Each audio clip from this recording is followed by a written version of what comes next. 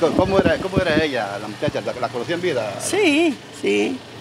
No, la muchacha era buena muchacha, excelente. Ella trabajaba de, en el negocio de donde Lemuel. Ahí trabajaba ella. No, aquí como comunidad no tuvieron queja de ella, buena No, no, ella, la muchacha era honesta, honrada y todo. ¿Y qué opina de lo que ha pasado en esta aldea de ahora? ¿Qué opina usted?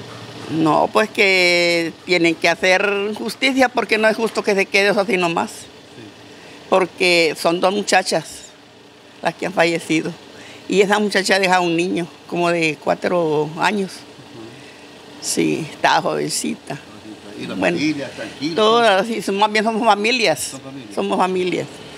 Sí. Eh, Lo que ha pasado en la aldea no tiene nombre porque la gente pues está muy consternada. Sí, y mire, se ve que la muchacha no era una persona porque viera cómo ha tenido apoyo esa muchacha. Oiga bien que la fueron a traer de donde venía del hospital, en caravana la trajeron ahí. Eh, tiene apoyo, pues. Y el gentío que ha habido todo el día ayer y toda la noche.